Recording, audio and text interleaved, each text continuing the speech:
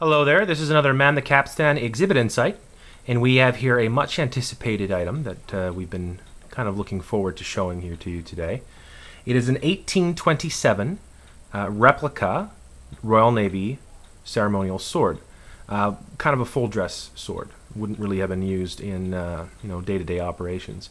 I say 1827 because it's based off of a model that was designed in that year or thereabouts, which was based off of an 1805 sword, which is commonly known as the Nelson Trafalgar sword, which was the sword that was worn by Horatio Nelson at the Battle of Trafalgar.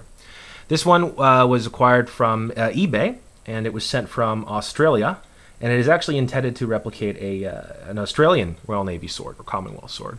Uh, so that's kind of neat there, and we got a pretty good deal on it there. Uh, it's got uh, solid brass there on the hilt. You can see from this distance here the uh, fouled anchor and crown of the Navy, and you can see the uh, kind of a, a, replica ivory hilt there, and the lion's head and the tang button on the on the pommel. And we have an actual authentic Royal Navy sword. Um, knot there. Thank you. A Royal Navy sword knot there that actually would be used by members of the Royal Navy. That was used on an older sword, and we've just kind of transplanted over here into the new one. Uh, brass uh, components here. And uh, the really neat thing about this sword, which we didn't actually expect, is that the uh, scabbard is, is real leather. So it, it kind of has a, it's not as, as firm as you would expect a, a real sword to be, but that's the way they were designed. And we'll just have the sword here drawn here. So you can see the blade, which is probably the, there's a little clasp oh. on the bottom there. Oh, yeah, just flip it up. And I'll show you here the scabbard real quick. It is real leather because it is kind of buoyant there. Now the really interesting part about this sword is perhaps the etching on it.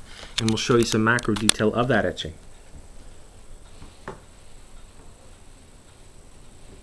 And both sides are different here. And I still haven't yet uh, figured out exactly what all of it means.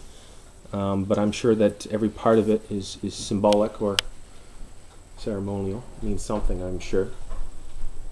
And there's our sword knot there.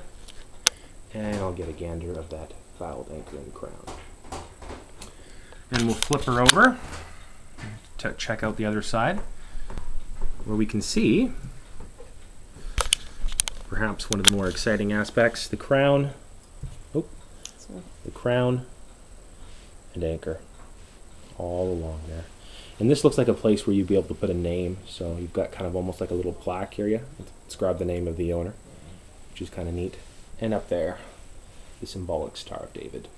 So really nice addition to the uh, Man the Capstan. This will be worn by uh, the Royal Navy uh, version 1. Um, yeah. Point that little thing out. Oh yeah, we got here. This is uh, part of the actual scabbard, the way it actually comes in here. It's really neat, and we'll show you here how she goes. So we'll draw her, or sheathen, I should say.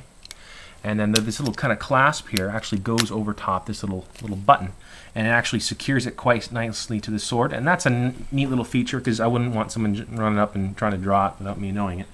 So that keeps it firmly in, in the sheath there. So the um, the uh, belt hooks onto here. There's a little hanger on the belt, which you probably have seen, and the knot actually has a hole already in there for it. I haven't figured out what these two uh, holes here on the interior are, but I'm sure I will. All in all, really nice addition. Call all hands to man the capstan, see the cable run down clear.